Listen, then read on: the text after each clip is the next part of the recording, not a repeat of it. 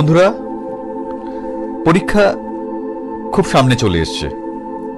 আমার যে বন্ধুরা তাদের এক্সামে বা পরীক্ষায় খুব ভালো ফল করতে চাও, তাদের জন্য আজকের বিষয়টি। আমি আজকে ছোট ছোট কয়েকটি কথা বলব, সেগুলো যদি তোমরা মানো, তাহলে অবশ্যই তোমাদের পরীক্ষায় তোমরা খুব ভালো ফল পাবে। যদি তোমাদের পরীক্ষা সোমবার দিন হয়, তবে তোমরা সাদা রঙের বডি কালারের পেন ইউজ করো। যদি মঙ্গলবার হয়, তবে লাল রঙের বডি কালারের পেন ইউজ করলে তোমাদের জন্য শুভ ফল লাভ হবে।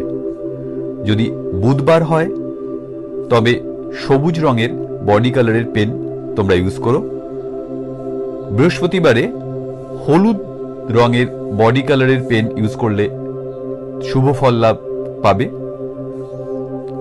শুক্রবার যদি সাদা রঙের বডি কালারের পেন ইউজ করো, তাহলে তোমাদের জন্য শুভ হবে। যদি তোমাদের পরীক্ষা শনিবার দিন পড়ে, তাহলে নীল বা কালো রঙের বডি কালারের পেন দিয়ে তোমরা লিখতে পারো। কিছু কিছু বন্ধুদের রবিবার কোনো না কোনো কম্পিটিটিভ এক্সাম থাকে বা চাকরির পরীক্ষা থাকে।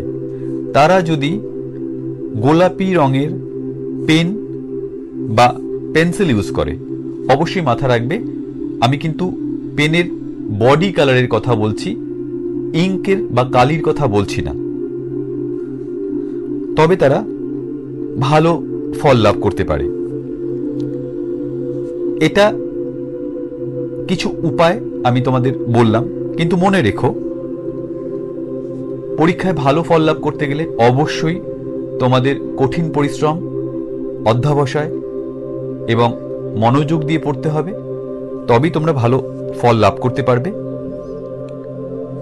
যদি তোমাদের আমার এই ভিডিওটি পছন্দ হয়ে থাকে আর আজকের এই বিষয় নিয়ে কোনো প্রশ্ন থাকে, তবে তোমরা আমাকে কমেন্ট বক্সে লিখে জানাতে পারো বা আমাকে হোয়াটসঅ্যাপও করতে পারো। ভালো থেকো। ভালো রেখো।